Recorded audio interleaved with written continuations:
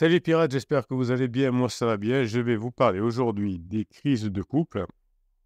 Est-ce qu'elles sont évitables ou est-ce qu'elles sont inévitables?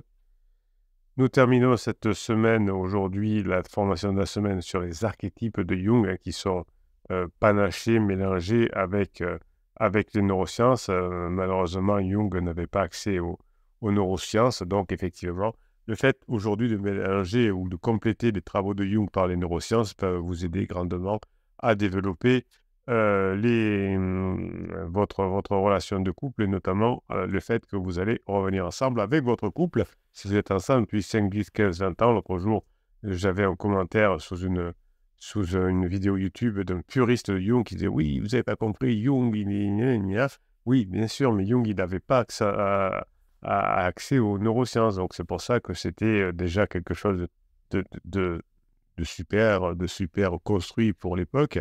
Aujourd'hui, évidemment, on peut faire mieux en complétant Jung par les neurosciences. Donc ça ne s'oppose pas, les deux sont complémentaires. Et je suis sûr, enfin, pas sûr, mais enfin, il me semble qu'aujourd'hui, si Jung vivait aujourd'hui, il utiliserait lui aussi les neurosciences car il serait fasciné par ce domaine-là. Et, et Jung d'ailleurs une, avait une forme de philosophie très intéressante. Et vous savez qu'ici, on récupère son conjoint, on récupère son couple aussi, grâce à la, philosophie. Donc, est-ce qu'il faut toujours se disputer dans un couple? Est-ce qu'elles sont évitables? Euh, Nous sommes des êtres sociaux. Hein. La vie sociale implique des, des, divergences, des accords, des frustrations, des malentendus. Et quand on décide de se mettre en couple, évidemment, on est euh, potentiellement en conflit. Hein. C'est normal, c'est humain, c'est même, même sain car parfois dans le, groupe, dans le, dans le couple, les, disputes nous permettent de nous exprimer, de nous confronter, de nous enrichir, de nous ajuster, de nous améliorer, à condition évidemment que l'on veuille la même chose avec son conjoint. Bien évidemment, la difficulté, c'est que très souvent, quand on est en ligne de miel, on ne fait pas attention, on se met en ligne de miel comme votre conjoint avec son pansement trop vite, juste pour les mauvaises raisons, c'est-à-dire pour pas trop souffrir actuellement. effectivement, les conflits sont légion puisque on n'a pas les mêmes objectifs. Déjà, quand on a les mêmes objectifs euh, de d'élever les enfants, euh, euh, de construire la maison, d'être heureux en couple, etc., on a, on, a, on a souvent une dispute. Donc, vous voyez toutes les disputes qu'il peut y avoir entre forcément et votre conjoint, puisque chacun a une, un objectif qui est, différent. les deux veulent diminuer leur souffrance de, de, la relation précédente, peut-être pour votre conjoint. Pour l'autre, c'est euh, peut-être vouloir euh, avoir accès au sexe euh, alors qu'il n'avait pas accès puisque le, le pansement souvent n'a pas beaucoup de chances d'être accès ou peut-être que le, le, pansement veut aussi oublier une, une, histoire malheureuse, il est en train de, de divorcer aussi donc effectivement il est en souffrance.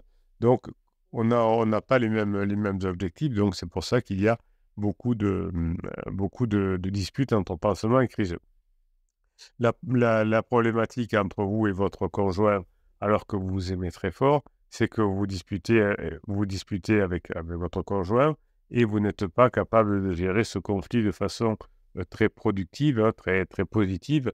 Et donc, c'est pour ça qu'une une, une dispute qui pourrait être saine au départ euh, finit parfois mal. Hein. Vous, vous, avez la preuve dans vos disputes avec votre conjoint, au moment notamment de la phase d'alarme, vous n'arriviez pas à être très positif.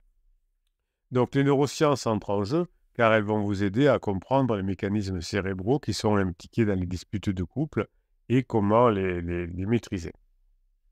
Donc imaginez, vous rentrez chez vous après une longue journée de travail, vous êtes fatigué, vous êtes stressé, vous avez hâte de retrouver votre conjoint, de vous détendre, de, de, boire peut-être un petit, euh, un petit jus de fruits, euh, peut-être un verre de rosé, de regarder un film, enfin, vous voyez, de passer un moment agréable. Mais à peine vous avez, vous avez franchi la porte, que vous voyez votre conjoint assis sur le canapé, les yeux rivés sur son téléphone, sans même vous saluer. Hein, ça doit vous, vous rappeler euh, la phase d'alarme de, de, votre couple. Donc du coup, qu'est-ce que vous allez faire vous? Et vous aurez certainement raison, vous vous sentirez vexé, ignoré, rejeté. Vous lui lancerez un bonsoir un peu sec, en espérant qu'il réagisse, qu'il voit que vous êtes blessé, qu'il vous a fait mal, qu'il attendait autre chose, etc. Donc tout ça va faire que euh, euh, vous allez euh, commencer la soirée de, la façon la moins évidente possible. Alors du coup, on, essaye après le bonsoir de dire, parce que évidemment votre conjoint risque de ne même pas lever les yeux, ah c'est bon, t'es là, tu pourrais dire bonjour, etc. Donc, on, va finalement reprocher son manque d'attention, son indifférence, son égoïsme, alors que votre conjoint est déjà mal, mal dans sa peau. Donc, votre conjoint peut se braquer, vous accuser de lui faire des scènes pour rien, de lui gâcher la soirée, de lui pourrir la vie à peine vous êtes rentré, etc. Donc, vous voyez le phénomène. Hein, vous, vous, arrivez, vous voulez bien faire, votre conjoint ne vous calcule pas, vous lui faites des reproches, c'est des interdits évidemment, et la dispute éclate, parfois les mots sont blessants, vous, vous provoquez sans faire exprès votre conjoint qui dit c'est comme ça, je vais partir. Donc ce qu'on appelle une propulsion. Votre conjoint se retire dans sa chambre, en a marre de vous, en disant à peine il arrive, il hurle dessus, alors que pour vous, effectivement, c'était, euh, par exemple, euh, je n'ai pas été reconnu.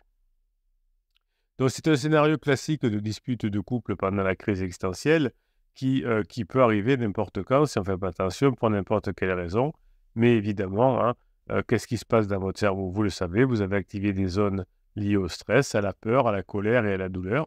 Donc chaque fois que vous activez ces zones-là, vous avez, vous, sentez rejeté, ignoré, critiqué, trahi par votre conjoint hein, et vous rentrez en souffrance. Votre conjoint, d'ailleurs, sent aussi cette souffrance, se sentant agressé par, par vous. Donc, du coup, vous ressentez une douleur similaire dans votre cerveau.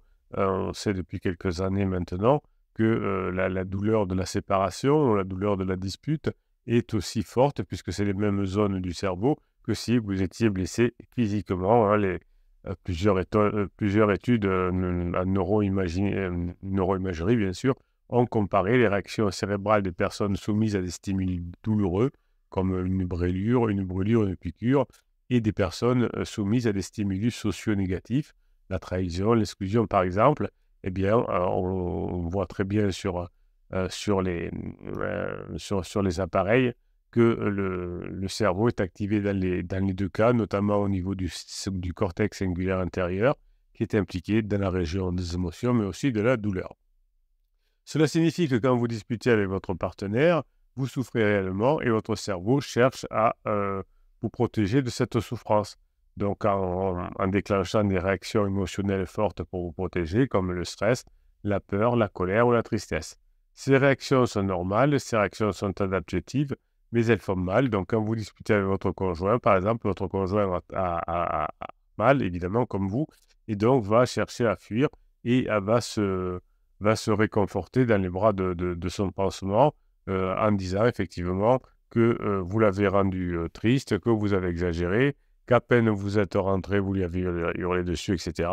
Et en plus, vous ouvrez la porte à pansement qui va se régaler hein, de dire oh c'est n'importe quoi, ton mari ou ta femme c'est n'importe quoi, c'est un fou, c'est une folle, et vous allez encore plus vous éloigner de votre conjoint dans ce cas-là. Donc l'idée, c'est de rester calme, euh, évidemment, et d'apprendre au fur et à mesure des formations euh, que les, réactions impulsives ont, des inconvénients. Les, réactions impulsives que vous avez vous empêchent de réfléchir calmement et rationnellement, et vous allez activer le système euh, amygdalien de votre cerveau, le système qui, qui va entraîner des comportements automatiques et qui va rentrer en conflit avec le préfrontal, le, responsable de la réflexion, du raisonnement, de la planification et de la prise de décision. Donc, quand vous euh, sollicitez trop souvent votre réseau amygdalien, eh bien, il va inhiber le cortex, préfrontal et vous allez perdre votre capacité d'analyser la situation, à prendre du recul, à vous remettre en question, à coopérer et à négocier. Mais vous voyez que ça vous rappelle aussi beaucoup votre conjoint, quand vous vous disputez souvent avec votre conjoint, euh, que le, son système amygdalien, à chaque fois qu'il vous vous voit, pardon, est euh, super, euh, super énervé, super excité, super hyper, hyper excité, comme on dit, eh bien, il, inhibe, aussi le cortex préfrontal du côté de votre conjoint. Évidemment, vous avez deux cortex préfrontaux qui fonctionnent mal et vous allez inhiber finalement petit à petit vos capacités à analyser la situation, à prendre du recul, à vous remettre en question, à, coopérer, à négocier. Bien sûr, c'est de part et d'autre. Donc, quand vous discutez avec votre partenaire, vous avez l'impression, mais ce n'est pas qu'une impression finalement, de tourner en rond, de ne pas comprendre, de traverser une crise et de vous parler à travers un mur. Donc, finalement, si vous arrivez à vous à, moins vous disputer avec votre conjoint, vous répéterez même moins souvent les mêmes arguments parce que ça tourne en boucle. Oui, ben tu vois, euh, t'as pas changé, c'est toujours comme avant, etc. Vous vous accusez mutuellement. vous voyez les bébés pirates quand vous arrivez sur le groupe Facebook ou en, descriptif de, ces vidéos, enfin en commentaire de ces vidéos, au début, vous êtes en, mode je suis une victime, et donc finalement, c'est un cercle vicieux dont il est difficile de se sortir. Donc d'ailleurs, euh, j'en profite pour vous rappeler que jusqu'à la fin du mois, et on arrive à la fin du mois, je tirerai, euh, vous avez un concours pardon, sur les commentaires YouTube. Euh, vous mettez vos commentaires bah, toute la journée et à la fin du mois, un petit logiciel tirera un de vos commentaires pour vous offrir la, formation de votre choix. Donc mettez des commentaires, vous savez, c'est un commentaire qui est lié, donc qui, qui, est tiré au sort, pardon. Donc plus vous mettez de commentaires, plus vous avez de chances de gagner la formation du capitaine. Donc, euh, je vais quand même vous proposer un petit exercice pour lutter contre ce, désir ou cette, euh, incapacité à éviter la, la, dispute, évidemment. Euh, essayez de prendre conscience de ce qui se prend dans votre cerveau, de ce que l'on ressent. Essayez de voir qu'est-ce que vous avez ressenti lors de la, de la dernière dispute. Quelles sont les émotions qui vous ont envahi? Quelles sont les pensées qui vous ont traversé Quelles sont les sensations qui vous ont parcouru les chines? Prenez quelques instants pour, observer votre état intérieur, sans le juger, sans le rejeter, sans le renforcer. Et la prochaine fois que vous aurez une dispute avec votre conjoint, vous pourrez faire le même, exercice pour euh, essayer d'éviter de, rentrer dans le conflit. Donc, vous allez euh, effectivement adopter maintenant une attitude beaucoup plus positive et empathique face aux critiques de votre, de votre partenaire. Car oui, les critiques font partie malheureusement de la vie de couple et même de la dispute de couple, et c'est souvent à l'origine de l'escalade du conflit. Vous savez euh, de quoi je parle, ces remarques désagréables, hein, ces reproches incessants que vous avez eus pendant la phase de sécurisation. Euh, peut-être que vous avez été désagréable avec votre conjoint, vous avez été blessant, vous l'avez fait se sentir coupable, nul, indigne ou incompris. Vous allez réagir face aux critiques. Si vous êtes comme la plupart des, personnes, on a deux options soit on se défend, soit on se contre-attaque. Donc votre conjoint a aussi eu la, la la, stratégie de la fuite, hein, de, se, de se réfugier dans les, bras de, de, pansement. Et tout ça, évidemment, c'est pour éviter d'avoir cette souffrance et d'avoir le, cerveau qui part, qui part en brille.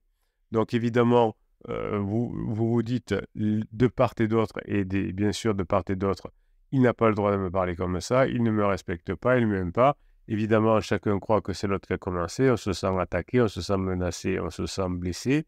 Et évidemment, souvent, on riposte en, renvoyant la balle comme au tennis, en, lui faisant des reproches à, votre tour, en lui faisant du mal, etc. Donc, les deux, à la fin euh, de, la, dispute, se disent c'est de sa faute, il est égoïste, il ne me comprend pas, il cherche à avoir raison, il cherche à se justifier, il cherche à se venger. Donc, vous avez effectivement euh, des formations qui vous permettent de sortir de ce conflit-là. Euh, vous aviez des critiques qui n'étaient pas à l'origine des attaques personnelles, mais finalement, quand vous avez, vous avez fini votre phase de sécurisation, le conflit de couple est le reflet d'un besoin insatisfait et d'une frustration chez les deux partenaires. Aujourd'hui, vous avez des besoins insatisfaits, votre conjoint s'est éloigné de vous, vous avez une frustration parce que votre conjoint va peut-être voir ailleurs, et votre conjoint se dit insatisfait de ce que vous avez fait pendant des années pour, pour lui ou pour elle, et cette frustration de voir que vous prenez la tête pour, pour un oui, pour un non, hein, du point de vue de, de votre conjoint. Donc chaque fois que vous allez avoir cette, cette velléité de vous disputer à votre conjoint, pensez bien que votre conjoint, ne, vous ne le ferez pas changer d'avis, hein, mais au contraire, vous ferez, vous aurez la, comment dirais-je, la, la conséquence que votre conjoint dira c'est de sa faute, euh, il a voulu me blesser, il cherche à me blesser, euh, il ne contrôle pas ses émotions, il n'est pas attentif, euh, voilà, il, ne me considère pas, etc. Donc les, les critiques sont le reflet d'un besoin insatisfait ou d'une frustration chez votre partenaire. Souvent, votre partenaire qui vous critique, ça veut dire que vous ne satisfaisez pas, vous ne, vous ne, oui, vous ne pas ses besoins et vous le frustrez. Donc votre, votre conjoint a besoin de reconnaissance, de considération, d'affection. Quand il voit vous reproche de ne pas être ordonné, il exprime son besoin de confort, de sécurité, de sérénité. Quand votre conjoint vous reproche d'un pas être ponctuel, il exprime son besoin de respect, de confiance et de fiabilité. Voyez le principe, hein, souvent quand vous reprochez quelque chose, c'est que vous ne nourrez pas. Lorsque votre conjoint vous reproche quelque chose, c'est que vous ne nourrissez pas de ses besoins.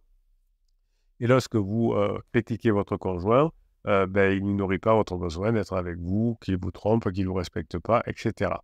Donc vous allez euh, faire en sorte d'être, de sortir de cette communication violente qu'on appelle le blâme, la culpabilisation, la menace, la manipulation. Le fait de, faire un silence radio, par exemple, est une manipulation. Donc, cette forme de impact va faire que petit à petit, vous allez pouvoir récupérer votre conjoint. le, la communication efficace euh, que vous allez mettre en place avec votre, avec votre conjoint va vous permettre de résoudre des conflits. Mais tant que vous êtes dans le blâme, euh, la culpabilisation et la menace, évidemment, ça n'avance pas. Euh, souvent, on peut désamorcer les critiques en les accueillant avec le sourire, en cherchant à comprendre le message derrière elles.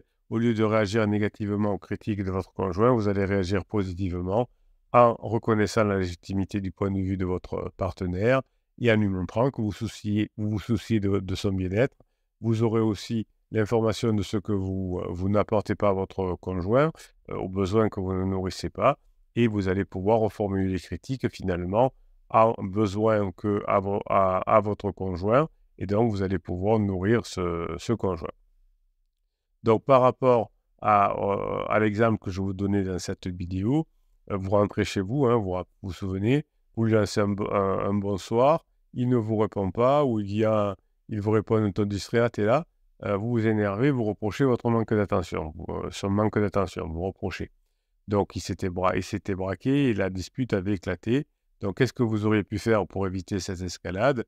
Eh bien, au lieu de lui reprocher son manque d'attention parce qu'il a dit bon, il n'a pas répondu au bonsoir, vous, pourrez dire, je comprends que tu sois occupé, euh, mais euh, effectivement, euh, j'ai un truc à te dire tout à l'heure.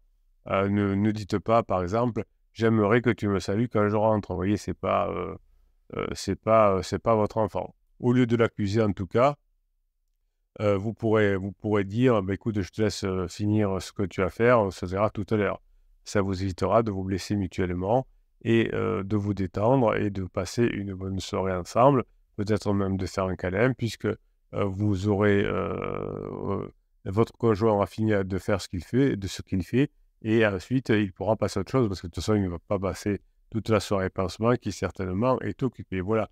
Donc la prochaine fois que vous serez confronté à une critique de votre partenaire ou ce que vous, vous, vous décelez comme une critique chez votre partenaire, au lieu de le prendre comme une attaque personnelle, vous allez avoir une occasion de mieux la comprendre ou le comprendre, hein, votre partenaire, de mieux, de mieux savoir comment vous faire comprendre aussi. Et au lieu de vous défendre, au lieu d'attaquer, de, contre-attaquer, accueillez, accueillez la, critique, la critique avec le sourire parce que souvent, ça vous, ça vous donnera une idée sur le besoin ou sur la demande de votre conjoint et ça vous permettra effectivement d'avancer ensuite pour pouvoir vous rapprocher petit à petit. Voilà, donc je vous laisse aller voir la formation sur Jung et sur les archétypes. Pensez aussi à, faire le concours de la semaine, le concours du mois, pardon, à mettre un commentaire sur cette vidéo. Ça va vous aider à gagner la formation de votre choix. pensez aussi à aller en descriptif de cette vidéo. Vous cliquez sur le seul lien qu'il y a et vous allez tomber sur le catalogue des 170 formations. Vous allez tomber sur la formation que je vous offre Best of 2023, le groupe de Facebook, l'accès au groupe des, pirates Facebook et le groupe névralgique, le canal névralgique Telegram des pirates, où vous allez petit à petit trouver chaque jour quatre, quatre shorts, quatre textes, des vidéos, enfin vous allez vous régaler. Donc le capitaine vous donne énormément euh, de valeur tous les ans. Un, pirate a évalué à 700 heures de cadeaux de, vidéos, de, textes que je vous donne tous les, mois, tous les, tous les ans. évidemment, ça vous aide à mettre en place les formations que, vous, qui vont vous permettre de récupérer votre conjoint. C'est en apprenant, c'est en montrant qu'on a changé, c'est en changeant, c'est en passant des bons moments avec votre conjoint grâce à la mise en application de ce que vous apprenez dans les formations que vous allez pouvoir passer en phase 4. Et le capitaine sera heureux quand vous aurez récupéré votre conjoint, surtout si vous avez des enfants. Car le sourire des enfants qui vivent avec leur papa et leur maman, ou en tout cas avec leurs parents, eh bien, c'est la plus belle chose qui peut leur arriver. Je vous souhaite la journée que vous méritez.